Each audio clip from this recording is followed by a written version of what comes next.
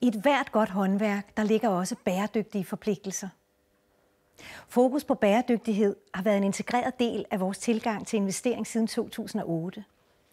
Så når vi ser investering som et godt håndværk, så er det naturligt for os, at de virksomheder, vi udvælger til vores fonde, tænker bæredygtighed ind i deres forretning.